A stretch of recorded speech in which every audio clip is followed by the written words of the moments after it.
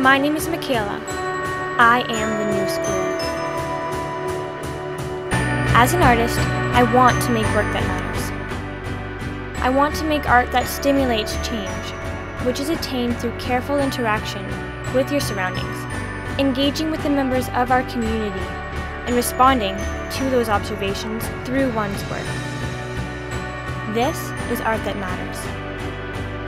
I am the result of my experiences, and my work is a manifestation of all of them. To make art that is relevant and relatable, I must expose myself to new cultures and exercise new ways of thinking. Surround myself with challenge and welcome the opportunities that challenge presents.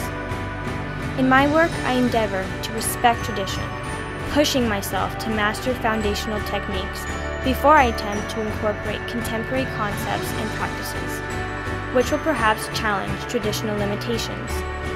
The New School is a place where eye opening experiences transpire. It is a destination for believers that art can matter. Attending the New School will give me the opportunity to learn and to thrive within a community surrounded by people with a unified purpose.